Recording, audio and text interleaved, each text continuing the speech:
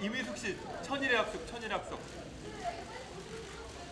선생님 안녕하세요. 와, 선생님 안녕하세요. 너무 뵙고 싶었어요. 가운데서 포토타임 한번 부탁드릴게요.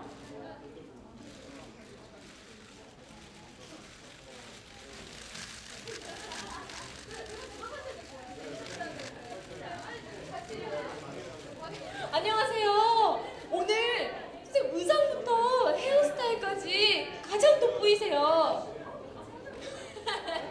제가 좀 많이 커요, 선생님. 네. 오늘 의상 컨셉이 어떻게 되세요? 어, 컨셉은 잘 모르겠고요. 특별히 제작을 해주신 우리 정보 선생님께서 특별히 제작을 해주신 거라서 열심히 했어. 여신 포스. 정말 그 고전 여배우 같은 그런 포스가 나세요. 다행이네요. 오늘이 예뻐.